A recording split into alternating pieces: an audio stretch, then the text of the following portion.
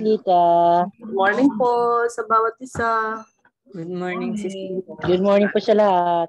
Good morning, Good morning po. Good morning. Good morning, everyone. This 7.30 na po, mag-uumpisa na po tayo ng umaga. Magandang umaga po. At kay ganda ng umaga, kay ganda ng ating paligid, kay ganda ng, ah, ng mga biyayang pinagkakalog sa ating Diyos. Ah, magsisimula na po tayo sa opening prayer po. Pinagpalang umaga po sa inyong lahat, mga kapatid, BM Pad Family Kumaris Club. Panginoon Diyos, pinupuri ka namin, sinasamba ka namin, dinadakila ka namin, at ikaw ang Diyos na makapangyarihan sa lahat. Gaano man kalayo ang langit at ang pag-ibig mo para sa lahat. Luluhod kami sa hapaanan mo at sasamba sa iyo. Ikaw ang aming kalakasan at kaligayahan. At ay mo po kami sa umagang ito at sa pamagitan ng banal na Espiritu na siyang nagbibigay liwanag sa amin, kaisipan, puso, damdamin. At sa pamamagitan ng katauhan ni Sister Greg Periodo na, na siya po ang binigyan niyo ng pagkakataon sa katauhan po niya ay siya ay mag-share at binigyan po niya kayo binigyan mo po siya ng katalinuhan at upang maibahagi po sa amin. Kaya Panginoon, salamat po sa inyo, Jesus. We pray in Jesus' name. Amen. Thank you, Lord. Ngayon po, ah, babasahin po natin ang ahapon sa araw na ito. 1 Timothy 5.17 Kung meron po kayong Bible, ay sabayan po niyo ako. Ang mga namumuno sa iglesia na naglilingkod na mabuti ay dapat bigyan ng nararapat na sahod. Lalo na ang mga naglilingkod ng Diyos sapagkat uh, sahod dito ng mga naglilingkod sa pangangaral at pagtuturo ng salita ng Diyos. God bless the word of His Lord, God. Ngayon po, uh, Sasabayan po natin ang awitan ng pagpupuri ang ating Panginoon sa mamagitan ng kanyang magandang uh, uh, magandang pagpupuri natin sa ating Panginoon Jesus.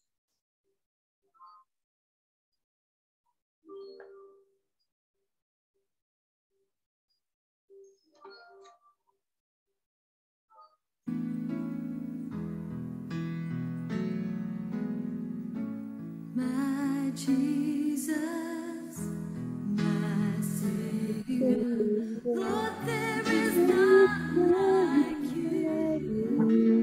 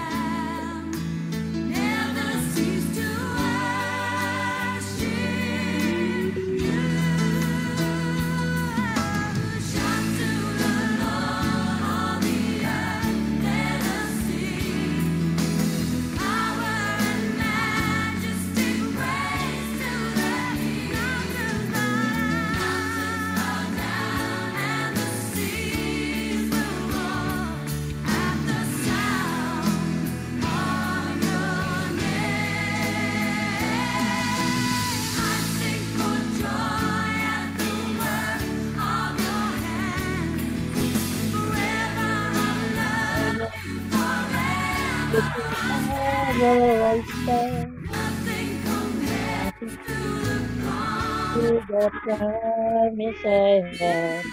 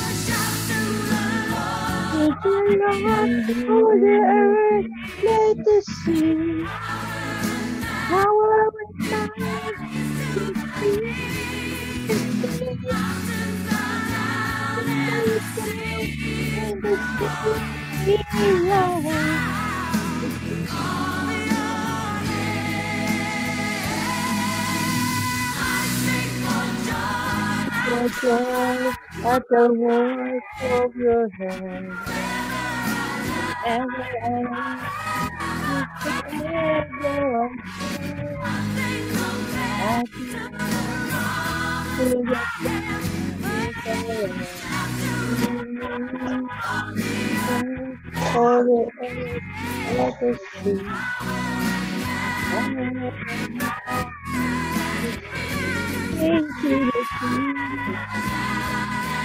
in the dawn, let the seas be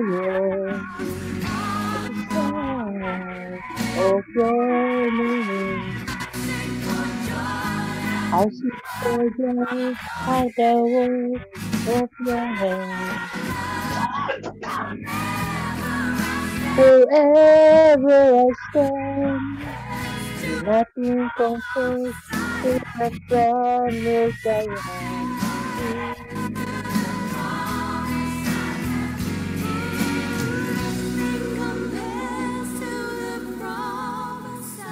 The promise I have.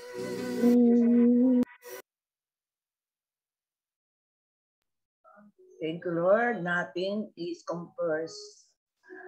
Kaya, Panginoon, ah, yung puri, sinasamba ko po namin sa araw nito. Ngayon po, ah, dadako po tayo sa ating um, pangunahing pangdangal po na pangunahan po ngayon ni Sister Rich Coriado po na siya po magbabahagi po sa atin. Salamat. Praise the Lord. Praise Good morning po. Maraming salamat, Sister Lita. Good morning po sa lahat. Good morning po. Morning po, Ayan. Rich. Good morning. May po. galak, no? May Good tuwa, morning, may sigla sa ating Amen Panginoon. po. Praise the Amen. Lord. Amen Isang po. mapagpalang araw po sa bawat isa. At napakabilis po ng araw, ano? Parang kailan lang tayo nagkita, parang kahapon lang. Pero ang Diyos po ay nagbibigay sa atin ng kalakasan, nagbibigay po sa atin ng katagumpayan. At higit sa lahat, iniingatan niya po tayo. Amen? Kahit nasa magulong daigdig tayo. Praise God. So, makibukas po kayo sa akin sa aklat ng Juan. If you have your Bible with you, sa chapter 16. Sabi dito, sa Juan chapter 16, excuse me po ah, I have told you these things so that in me you may have peace. In this world, you will have trouble. But take heart, I have overcome the world. Purihin po ang pagbabasa ng kanya pong salita. Saglit lamang po tayong manalangin. Dakilang Diyos, wini-welcome po namin ang iyong presensya sa pamamagitan ng iyong banal na Espiritu Santo. Ikaw po ang amin pong dakilang guro sa umagang ito. Buksan niyo po ang aming kaisipan, ang aming puso na magtuon, mag-focus lamang po sa iyong salita. We believe that your word is alive, O God. Sabi doon sa Hebrews chapter 12 verse 4, Panginoon, active ang iyo pong salita, Panginoon.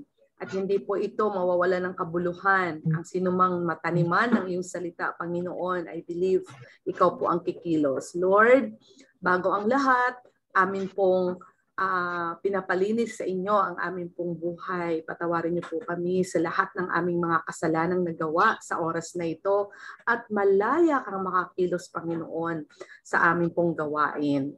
Hayaan mo, Lord, maging sa nandirito po, Panginoon, sa room na ito at maging mapapanood ang ang video na ito, Lord, pagpalain mo po, Ama, ang bawat isa. Marami pong salamat sa pangalan ng aming Panginoong Jesus. This we pray. Amen. Praise Amen. God. So, ang akin pong ituturo, comfort in the midst of troubled world. No? Kinakailangan na tayo po ay i-comfort. Ang John 16 po, 33, mismo po ang Panginoong Jesus ang nagsabi po niyan sa kanyang mga disciples na alam ng Panginoon na ma madadaanan natin o makaka-experience po tayo ng mga trouble no sa buhay Ah, hindi po ah, hindi po tayo exempted ng mga anak ng Diyos hindi po tayo exempted sa ah, mga problema sa mga bagay na kasi nandito pa tayo sa lupa pero may pangako ng Panginoon no ulitin ko po but take heart I have overcome the world. No, Ang ganda po ng pangako ng Diyos sa bawat isa. Maganda to sa Tagalog eh. So, this morning po, I, uh, I know and I believe na ang bawat isa sa atin ay sa mga nagdaang araw, no, mga nagdaang linggo, ay marami tayong troubles na na experience. Araw-araw po yan eh. Pero we believe na ang Diyos po ang siyang nagbibigay sa atin. Sometimes, no, we go through, ano po, trouble or storm, no? Even when we are being obedient to Jesus. Yan po ang sinasabi ng Lord. Yan po yung sinabi doon sa John 16, verse 33, na tayo po ay dumadanas. Pagaman merong inaawit na ang buhay kristyano ay masayang tunay, nagpapalakpakan, di ba? Nagbibigayan, nagmamahalan. Mas tunay naman talaga ang buhay ng Kristiyano. Pero marami din pong nakakalimot na ah, nandito tayo sa mundong ibabaw. So minsan denial na sa denial stage tayo na hala, okay lang, okay, masaya pala. Eh, ang buhay ng Kristiyano. Nakakalimutan natin na tayo po'y dumadanas ng mga storms. Katulad po doon sa the book of John, di ba, na ang Panginoong Jesus ay kasama niyang naglakbay sila, mga disciples nila one night at ang Panginoon ay anong nangyari? Natutulog lang siya at sila ay dumanas ng maraming ah, ulan, unos, so parang naguluhan, di ba? Sabi ng ah, mga disciples, Lord, nandito ka lang pala. Ah, binabagyo na tayo. Ganyan, ano? Para praising. Pero ang Panginoon talagang ah nirebuke niya. Kaya 'di ba sinabihan sila, napakaliit ng inyong pananampalataya. Pwede mo namang i-rebuke no ang storm, di po ba? Agad-agad po ay ah, nag-stop ang storm. So ganun din po ang buhay natin. Initially, tayo ay nawiwindang. Tayo ay, paglalo na pag nandyan yung problema, kung ano-anong iniisip natin. No? Pero alam niyo po na tayo po ay hindi tayo papabayaan ng Panginoon.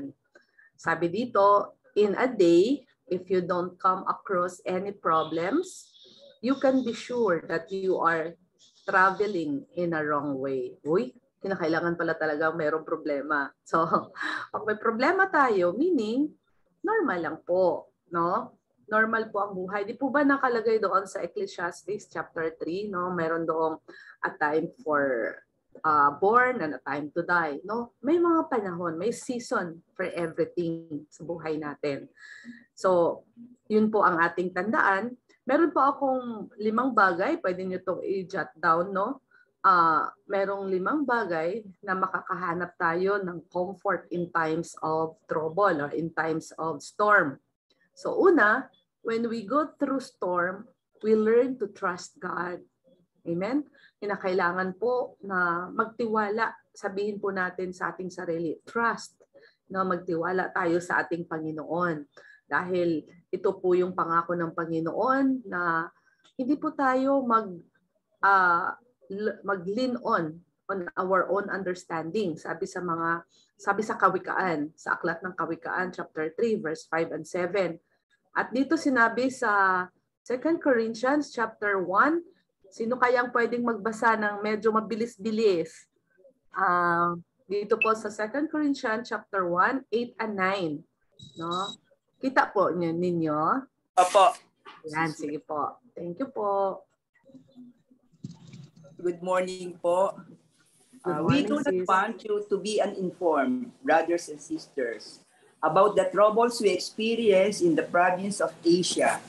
We were under great pressure, far beyond our ability to endure, so that we despaired of life itself. Indeed, we felt we had received the sentence of death. But this, but this happened that we might not rely on ourselves, but on God who raises the dead. Amen. God is the reading of His word. Thank you po, Sister Ruby, no? So, so dito po ay maging sila,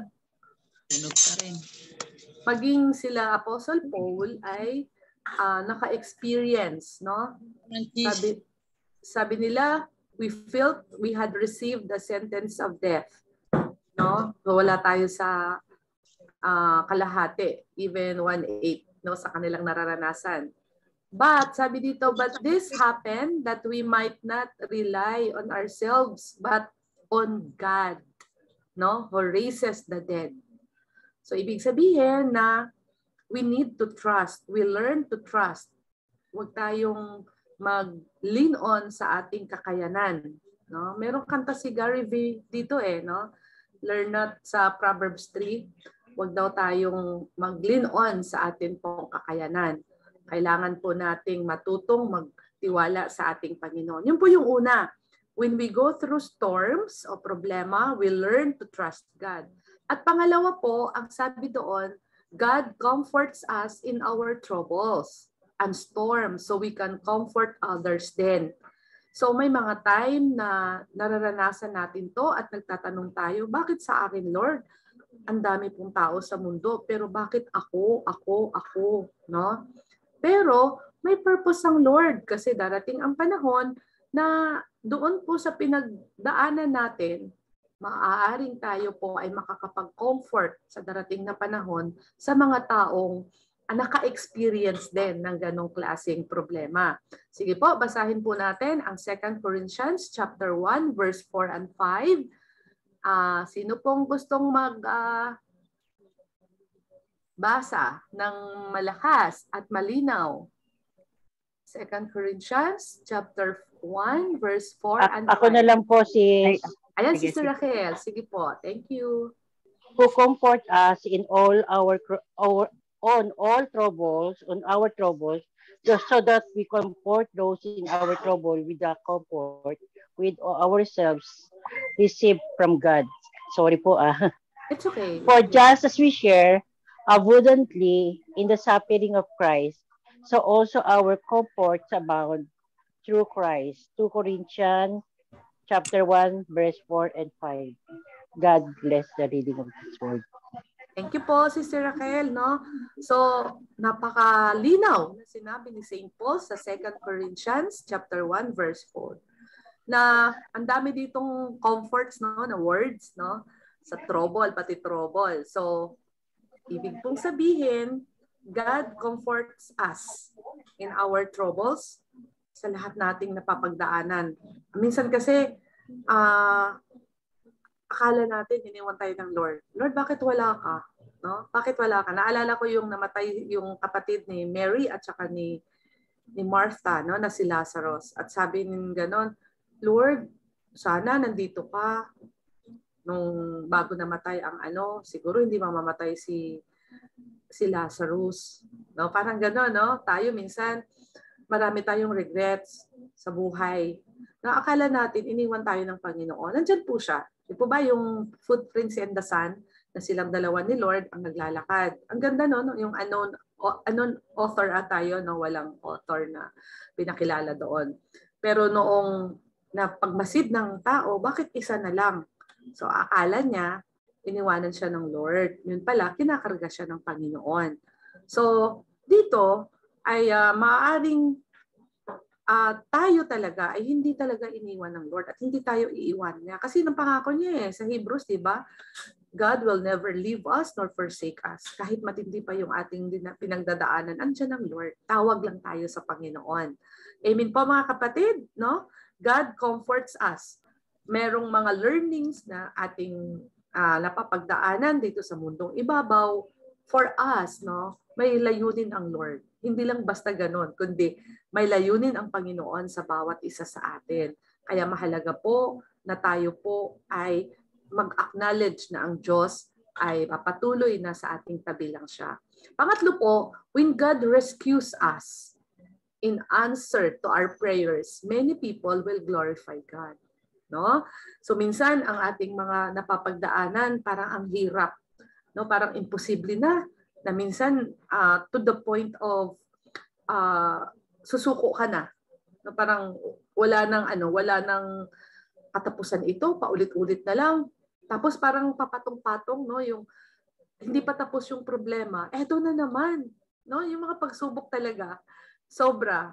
So pero alam niyo po ba, pag ang Lord ang inuna talaga natin, in-acknowledge natin, i-rescue tayo ng Panginoon.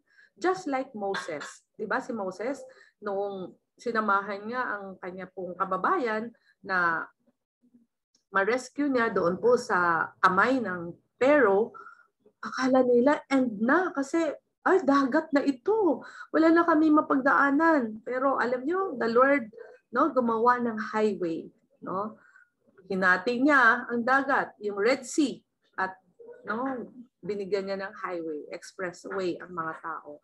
Ganun po, gumagawa ang Lord ng mga kaparaanan not just for to glorify us, no? Eh kasi ginawa ko to kasi dahil sa kakayanan ko, dahil sa ah, power ko, dahil sa kaparaanan ko kasi matalino ako, hindi ganoon para po mapapurihan ang Panginoon. Sige po, basahin natin ang 2 Corinthians chapter 1 verse 10 to 11. Sino po ang gustong magbasa ng malakas na malakas para po ang bawat isa ay makarinig? Meron po? Meron pong mag-volunteer? Ako na lang po, sis. Ah, sige po. Sister, sino po? Sister Lisa po ba ito? Arlene. Ah, Arlene. Arlene. Sister Arlene, good morning. Yes, Sige po. po. Uh, he has delivered us from such a deadly peril, and he will deliver us again. On him we have set our hope that he will continue to deliver us. As you help us by our prayers, then many will give thanks in our behalf for the gracious favor granted us in answer to our prayers of many. God bless the reading of these words. Amen. Amen. Di po ba? Ang ganda po ng sinabi dito. When God rescues us in our prayers. Naniniwala po ko. Naniniwala po ako na ang panalangin po ay napakabisa. No? Tayo po ay kanyang iniingatan talaga. Ang panalangin, do not underestimate prayers. Kasi nandoon yung divine protection ng ating Panginoon. May maiksi lamang po akong ah, testimony, mainit-init pa ito, kahapon lang nangyari sa akin, na talagang totoo pala yung first time ko na nakaranas ng ganon. Yung budol ba, yung tatawag ng asawa ko daw ay na na ano na sila daw ay taga City Hall, Las Piñas at ang asawa ko daw ay nakabangga na wala daw ang brake at nakasagasa daw, bla bla bla, ganyan. So prior to that, nung time na yun talaga, iniisip ko talaga ang asawa ko to the point nga na pinananalangin ko siya. At nung na-receive ko po yung call through landline, through landline, no? Parang napapaniwala ako sa kanilang ganito kasi kilala ako eh. Kilala ako, alam nila ang address ko. Maaring niisip ko noon nasa Yellow Pages nga pala ang pangalan ko. Pero uso pa ba ngayon ang Yellow Pages? So alam niyo po ba to the point na hiningan ako ng 70k. Sabi ko wala po akong gano'n. Nandito po si sir, ganyan-ganyan. Kung gusto niyo po kausapin. Pero ma'am, ano po siya, duguan. Although ginagamot na namin, pero may bulak po yung um, ano niya. So hindi po malinaw ang kanyang ano salita. So kinausap ko po. Pagkausap ko, iba yung tawag sa akin. Buti na lang may code name kami, no? ang tawag na sa akin, may ah gusto ko na umuwi, magpahinga na ako. May pag walang pera, ikukulong ako, ganyan-ganyan, kasi areglo, ganyan-ganyan. Two times kong kinausap yun. Alam niyo po bang umabot ng siguro 10 minutes ang aming pag-uusap. To the point na ako talaga ay manina, maniniwala na halos. Pero nung kinausap kong pangalawa, the Lord give me the wisdom, no? Yung pagtawag niya sa akin ng May, hindi naman mommy at daddy ang tawagan namin. So binigyan ako ng Lord ng ano, ng wisdom, no? Natawagan ko kasi sabi doon, bago ako kinausap, sabi, Ma'am, huwag niyo pong tawagan si Sir kasi dugaan po siya, lobat po ang kanyang cellphone, bla bla bla, ganyan-ganyan. Talagang naniwala ako. Sobrang naniwala. Sabi ko ba, pwede bang kaliwaan? Kasi, ay ma'am, hindi po pwedeng cash kasi uh, opisyalis kami ng Las Piñas, eh, hindi pwedeng under the table. Actually, ma'am, yung bata pong nasagasaan ay ano, uh, critical, parang ganon. At uh, yung ama ay isang opisyalis at mabait naman po yung asawa nyo ay uh, nadala po sa areglo. Pero kung hindi po kayo magre-release ngayon ng 7K through banking or GCash, ay dito po magdamag ang asawa nyo sa ano sa presinto o bilangguan. Pero syempre ako, nawindang ako ng ano, din sabi ko, napahaliluya lang ako, hello ma'am, hello ma'am, nandyan po ba kayo? At tinext ko yung asawa ko, ikaw ba to? Totoo ba to? Ganyan, ganyan. So to cut the story short, no? Purihin ng Panginoon. Nagpicture yung asawa ko, nag-selfie yung asawa ko, pinadala sa akin. Dito ako sa Batangas. Ganyan, ganyan. So praise the Lord. No? Meron palang ganun talaga. Kaya maingat po tayo talaga sa... Naalala ko lang po yung ano kasi bakit alam nila yung address ko. Yung to the point yung to, full name ko talaga ha. Full name ko. Hindi yung Gretch na ano na palayaw. Full name ko talaga. Eh yun lang naman naalala ko. Kaya ang hirap pala magbigay ngayon ng ano no yung mga uh, for instance yung mga na susulat-sulat ka ng mga kung ano-ano at ibibigay mo yung madaming kalokohan ng mundo. Kaya sobra but praise God. Ang gusto ko lang idiin talaga doon ay tayo po ay inililigtas ng Panginoon sa anumang lahat ng manggagansyo ng tao, no? Ang Diyos ay nagbibigay sa atin ng wisdom. Doon lang po ako parang natauhan na bakit may ang tawag niya sa akin. No, meron kaming code name ng aking asawa. So, binerify ko sa kanya para hindi ako mapalagay na mag-release. At to the point talaga na bibigay na ako kahit 35K. Sige, on cash dito sa bahay. Dalhin niyo yung asawa ko at ibigay ko. Hindi ako makalis kasi masama ang pakiramdam ko. Hindi ako makapunta sa GCash. Wala akong GCash talaga. Banking online, sabi ko. At to the point talaga na nag, ano na ako, nag-send na ako ng 10 10K sa banking online ko pero nagtaka ako, ikot lang ng ikot. Ma'am, napadala niyo na po ba? Sabi ko, ay parang down ng system ng ano, Metrobank. Ganyan po ako sa kanya. Praise the Lord talaga. Sobra, sobra akong papasalamat sa Panginoon. Kaya sa ating mga sa ating uh, buhay, no, bago tayo umalis sa bahay, nandoon po yung mahalaga po yung prayer na Lord, uh, cover me with the most precious blood of the Lord Jesus Christ. Kasi may mga taong manggagancho, masarap magsalita, may mga taong gumagawa ng ng ano ng mga bagay-bagay na alam niyo po, mga padala ng diablo, di po ba? Kaya mahalaga po yung covering of the blood of Jesus. Amen po sa panalangin. Kaya do not underestimate prayers because prayers can move mountains. Prayers can talk. No? And the Holy Spirit quicken me. Kasi para akong para akong nabudol ba talaga na parang napaniwala ako doon sa kanyang mga drama. Dalawa sila eh at sila mga opisyalis daw ng Las Piñas City Hall. Praise the Lord. To God be the glory. Pangat pang-apat po, we get knocked down but we get up again and keep going, no? Totoo po na tayo po'y dumadanas ng mga problema sa buhay. Pero wag po nating um, yung bang mag-conclude tayo na simula akong pumasok dyan sa DM pad, DM pad na yan, parang nagwindang-windang tuloy lalo ang buhay ko. Huwag nating sisihin ang salita ng Panginoon at huwag nating sisihin ang Diyos. Normal lang po na tayo po'y dumadanas ng mga, mga persecution, ng mga troubles in life dahil kasama yan eh. No? Hindi tayo pinangakuan ng Panginoon ng matulog ka sa bed of roses. Pinangakuan niya tayo, sabi doon sa Matthew 16, ay John 16:33 na take heart, no? He will na, na overcome niya na, no, ang mundong ito. Magtiwala tayo sa Panginoon. Keep going. Kahit na ang iyo pong ah, pamilya, sila yung nagpe-persecute sa inyo. Naku, wag ka na dyan sa praise the Lord na yan, no? Basahin po natin ang 2 Corinthians chapter 4, verse 8 and 9. Pakibasa po ng malakas. Sino pong gusto mag-volunteer?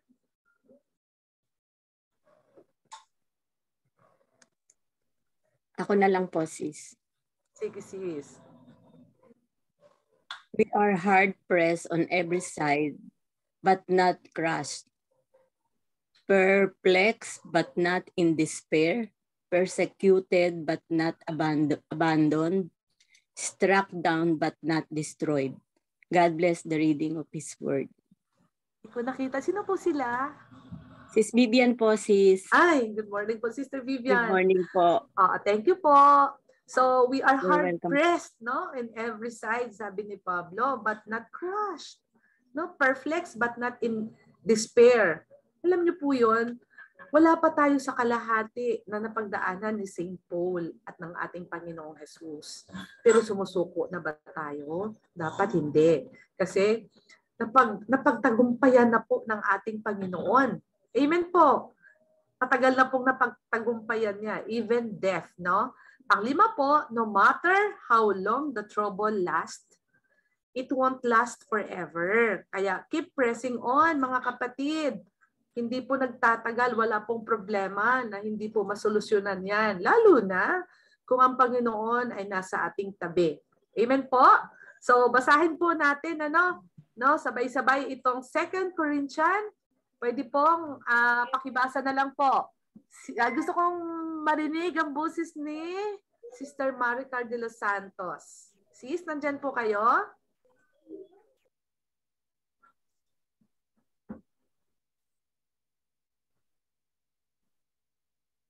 Sister Maricar. Wala. Tatawag uli ako. Sister Jenny. Ano dyan po ba?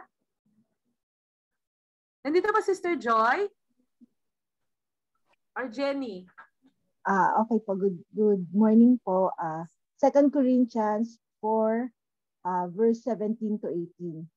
For our light and momentary troubles are achieving for us an eternal glory that far outweighs outweighs them all. So we fix our eyes not on what is seen, but on what is unseen. Since what is seen is temporary, but what is unseen is eternal. God bless the reading of His Word.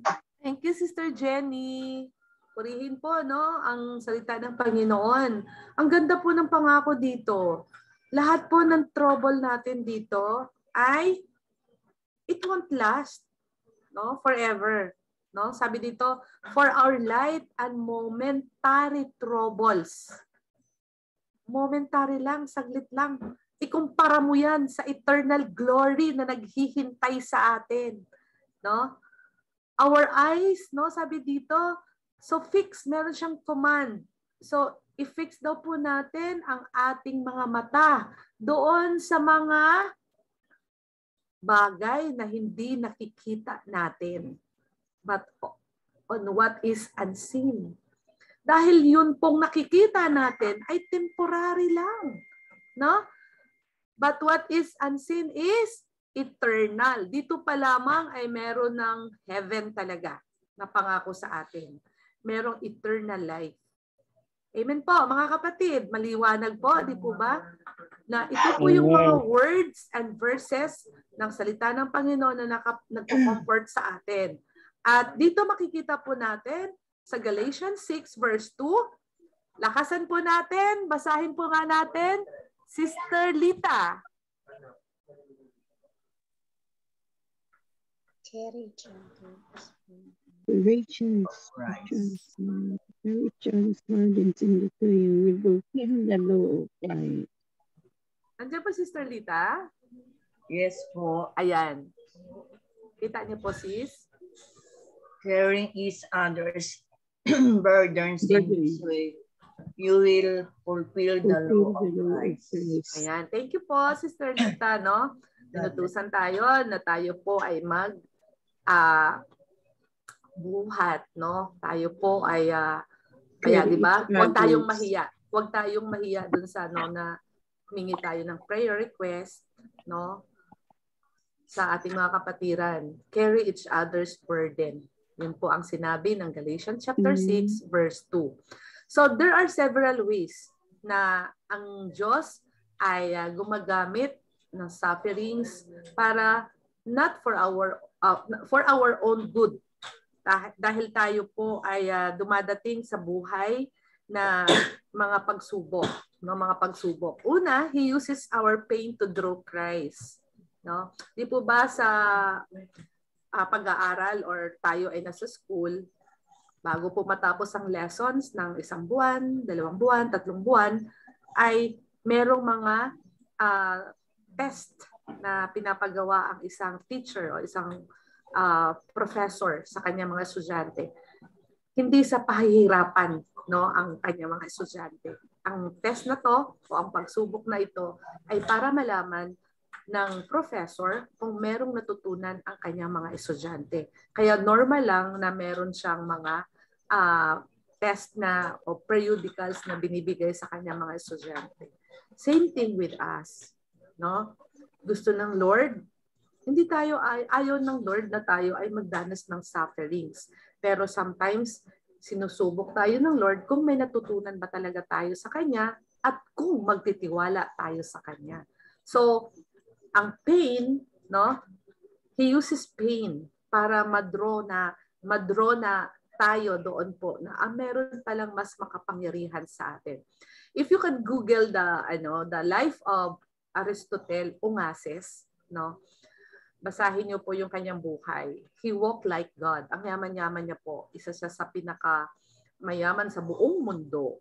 At dumating sa point ng buhay niya na siya po ay nakapag-acknowledge na ah, mas meron palang Diyos talaga dahil hindi po nabuhay ng mga doctors yung kanya pong anak na lalaki kaysa isang anak na lalaki na nagkaroon ng plane crash. Sabi ng mga doktor, wala na po kaming magagawa, sir. Yun lang po, sabi niya.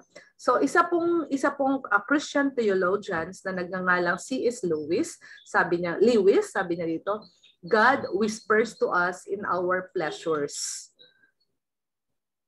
Speak in our conscience, but shouts in our pains. It his megaphone to roast a deaf word. Amen. Ang ganda po sinabi niya, no?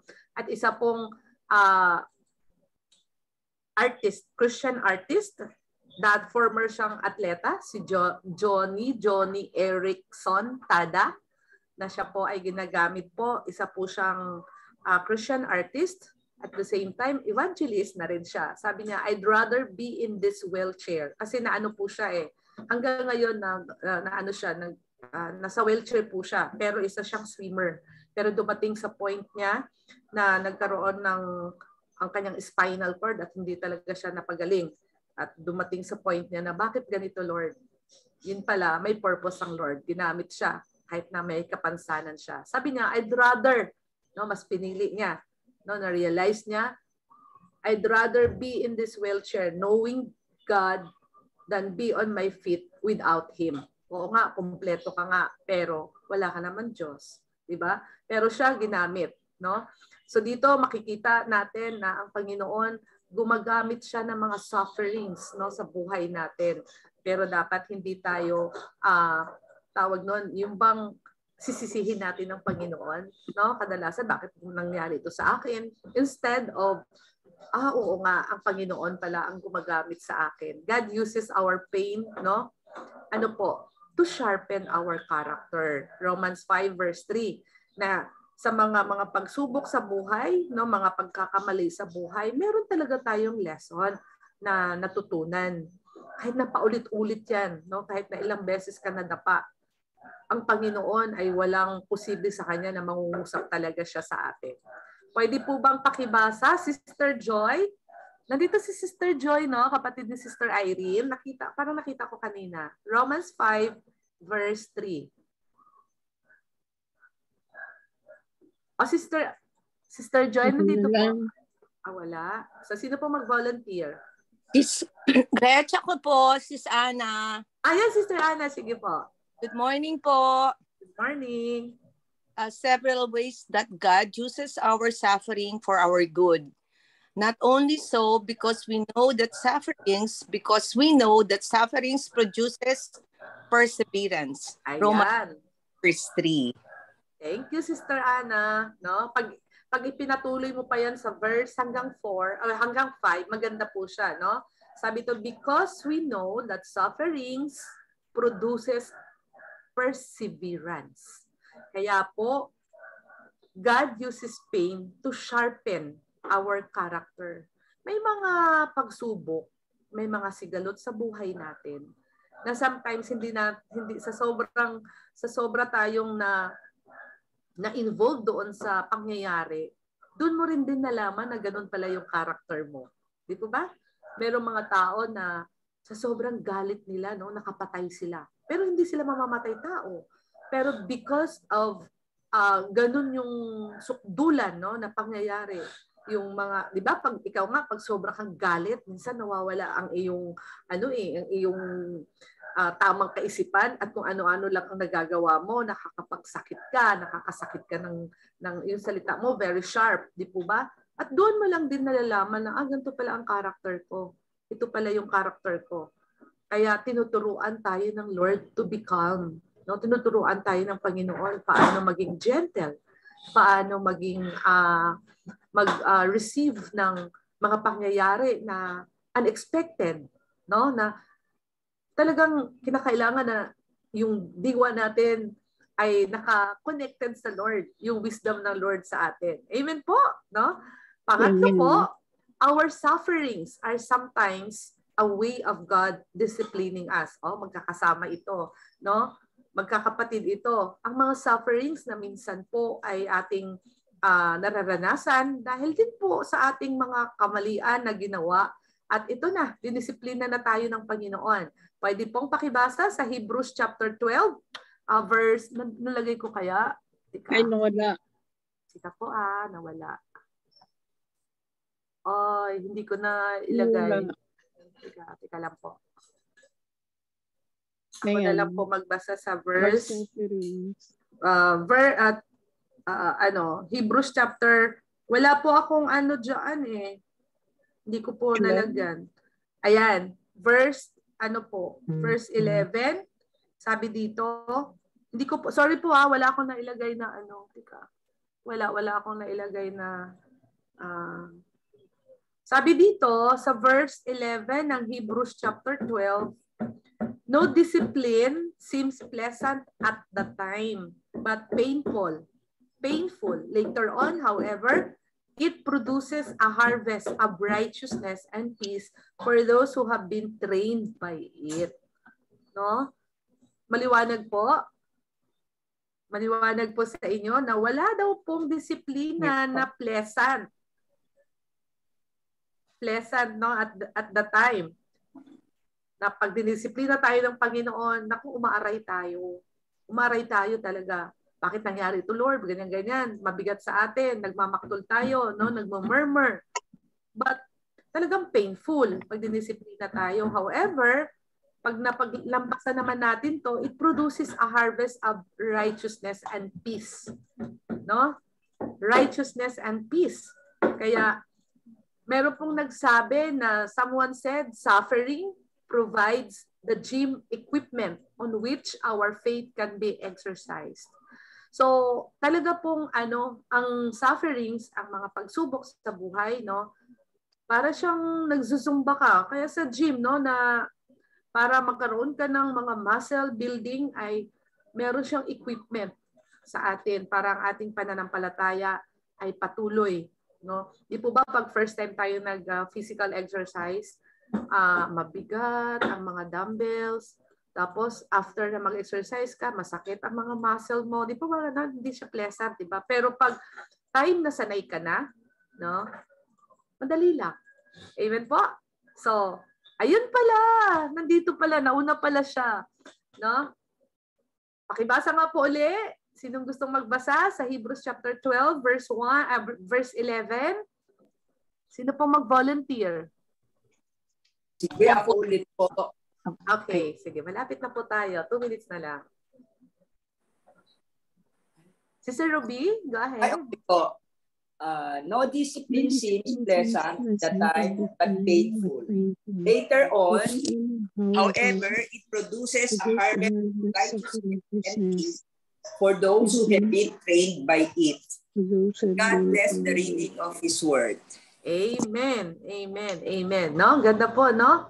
So, wala talagang, hindi talaga, ang discipline kasi talaga ay, ang bata, tingnan niyo po ang bata ah, at the age of 2 or 1, no? kahit 6, no? Pag hindi mo yung discipline ng pakainin ng gulay, never been, no? Hindi talaga. Hanggang lumaki siya, hindi.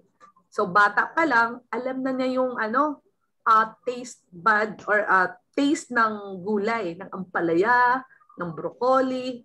At pag yun ay gerber, ang iyong pinakain dyan, naku, mahihirapan ka dyan sa bata. Mamimili na yan kasi meron na silang, hindi mo na disiplinang kumain. So same thing with our life. Pero tayo, kahit na malaki na tayo, pwede pa naman. It's not too late. Sabi nga nila, habang may buhay, mag, may pag-asa. May pag-asa tayong magbago, no? For good, no? At may mag- pag-asa talaga sa Panginoong Jesus. Amen? May hope sa Panginoon. Panghuli po ay God can ac- accomplish something fa- positive out of our negatives. No? Siyempre naman, kahit pa yan nangyari sa atin, wala namang perfect, di po ba? Si si Joseph, ang daming mga mga ano, mga negative nangyari sa kanya, no? Pero naging positive. Actually lahat, lahat tayo tao. Mga tao sa Biblia, hindi yan po mga perfect. Wala pong perfect. Si Jesus lang, si God lang ang perfect. Lahat yan ay nangangailangan ng Diyos na perfect God, no? So God can accomplish something positive out of our negatives, no? So sino pong gusto magbasa sa Romans chapter 8 verse 28? Last na po 'yan. Opo. Ako na lang po, sis. Ah, sige po. And we know that in all things God works For good. Nawala ka sis. ay kala ko po may nagbasa. Ulitin ko po. Sige po. Hindi And po. we know that Ah, in ah. all things God works from the good of those who love Him, who have been called according to His purpose. God's word reading of His. Ah, sino po sila sis? Hindi kita nakita eh. Ako po si Buds po. Ah, ba, Buds. Samson. Okay. Opo. Good morning, Sister Buds. Thank you, thank you po. Ayan. Ang ganda po ng pangako ng Lord no sa Romans 8:28 and we know all these things God works for the good of those who love him no talagang kumikilos ang Lord doon sa mga taong nagmamahal sa kanya kahit na siya ay isa pa yang kriminal no inaayos ng Lord ang kanyang buhay kahit pa yan ay addict no inaayos ng Lord ang kanyang buhay. Lahat tayo, hindi, hindi naman kailangang maging adik at maging criminal tayo. May mga bagay tayo talaga na ah, kulang. No? Nagkawindang-windang ang buhay natin. But you know that in all things, sabi dito, all things, God works for the good, for the good of those who love Him.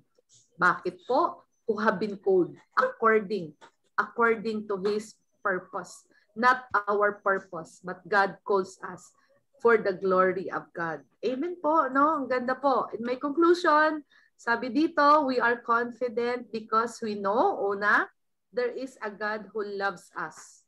No? Merong Diyos na nagmamahal sa atin. There is a God has saved us. No? Tayo po ay binigyan ng salvation, ng kaligtasan. Hindi lamang po sa pansamantalang kaligtasan, even eternal, no? From fire, there is a God who cares for us. Nagmamahal, no? nagmamalasakit sa atin to the point that God give His one and only begotten Son on the cross of Calvary. Ganon po niya tayo kamahal. No? At panghuli, there is God who will take us to heaven. Ang ganda nito. Ito po yung panghuli na alam niyo po na hindi po tayo talaga residente dito sa ah, mundong ibabaw na ito because our citizenship is in heaven. Amen po? So, sa oras pong ito, tayo po'y manalangin sa Panginoon Dakilang Diyos, marami pong salamat sa iyong salita, your comfort, uh, ng, ng mga salita, Panginoon. Patuloy po kami na nanampalataya na we believe in our hearts na you will never leave us nor forsake us, Lord, kahit na po sa magulong daigdig na ito, Panginoon, na minsan hindi namin alam, ah, parang madilim ang aming pinagdadaanan, hindi po namin kayang isipin o arukin ng aming isip, but, be- but because of your word na sinabi doon sa Isaiah that our thoughts is not your thoughts, neither our ways is not your ways, Lord. Kaya there are secret things, Panginoon, na mas, mas may mas higher sa amin, Panginoon.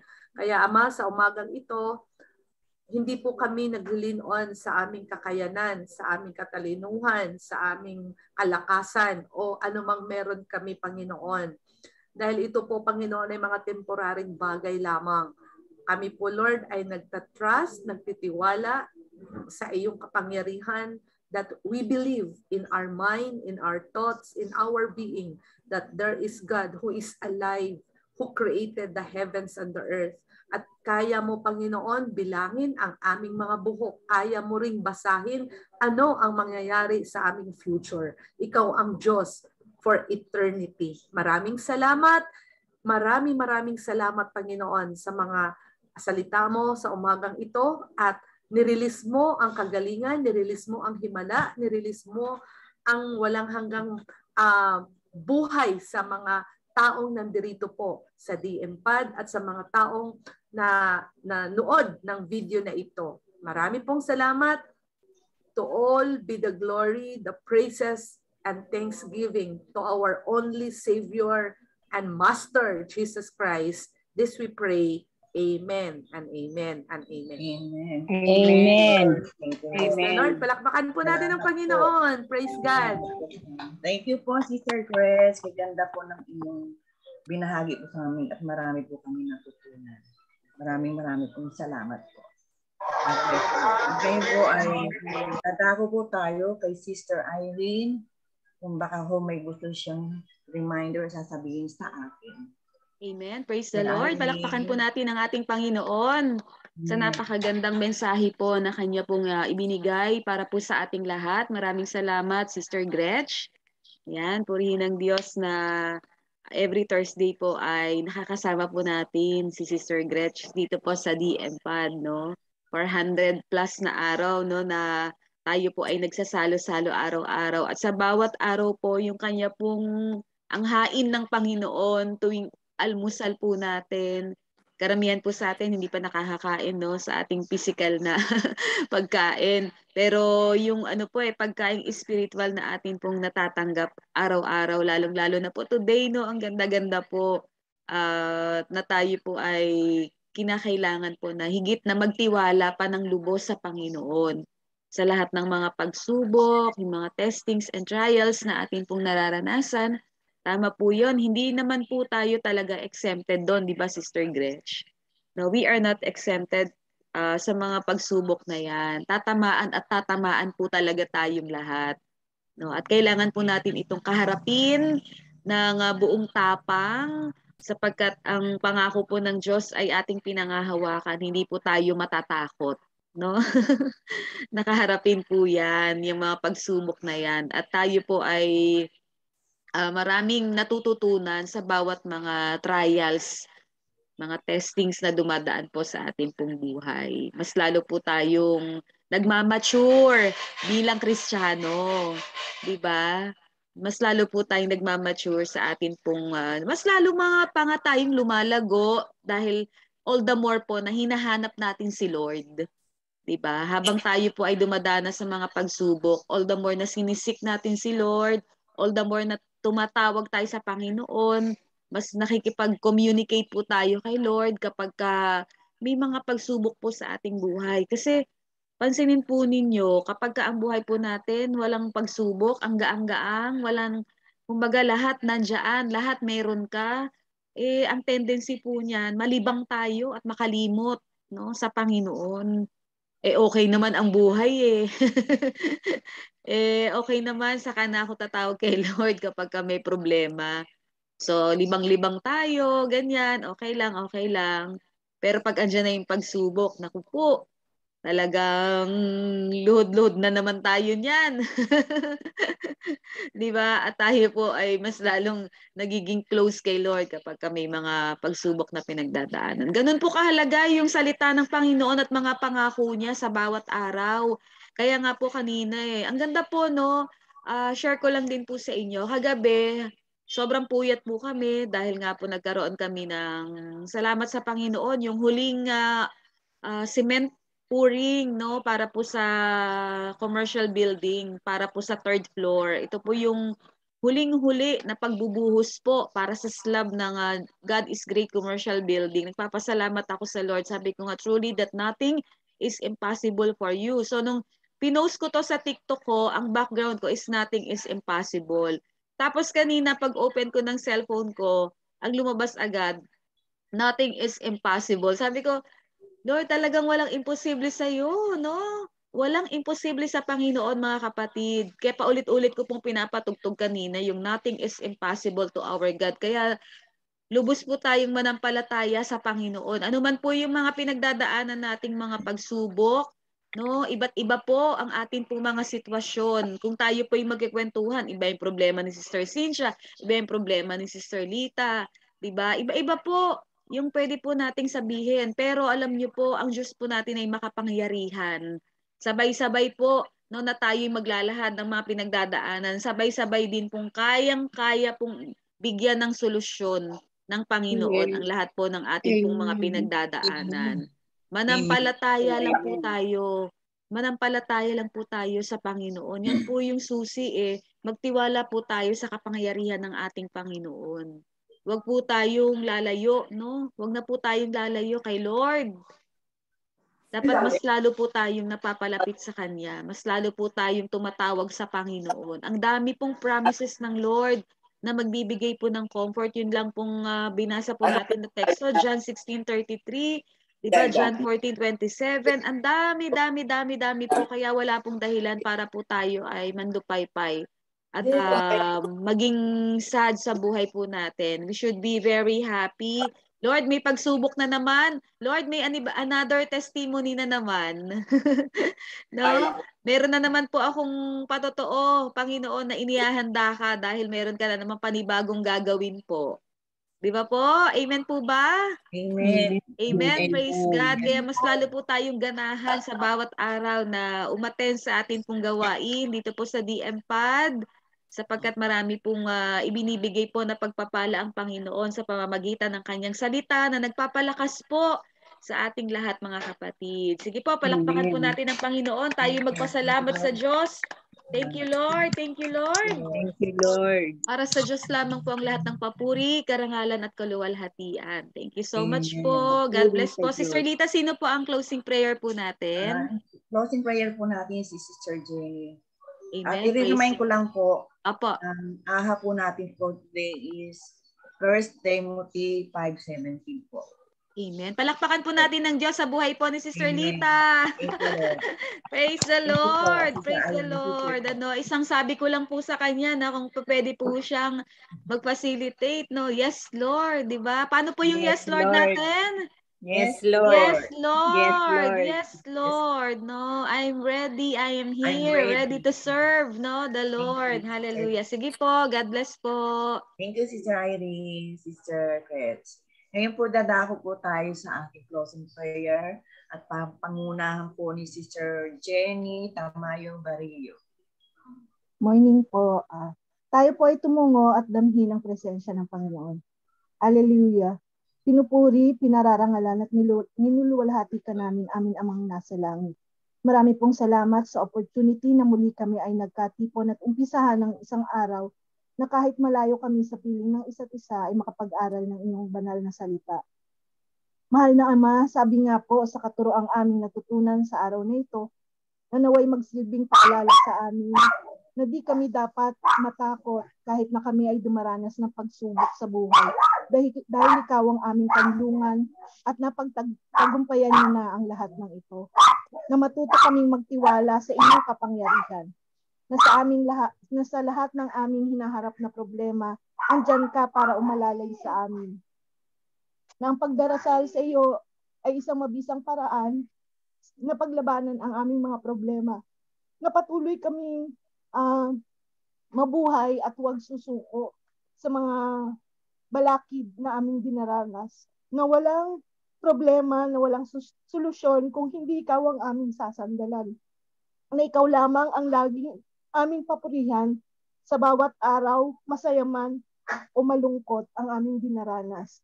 Dalangin namin na ang iyong salita ay tumimo sa aming mga puso at isipan at maging gabay namin sa aming pang-araw-araw na tahaki ng buhay. Tulungan niyo po kaming maging lalo pang matatag sa mga pagsubok na aming kinaka, kinakaharap na may pananalig, pagtitiwala sa iyong grasya, awa at kapangyarihan.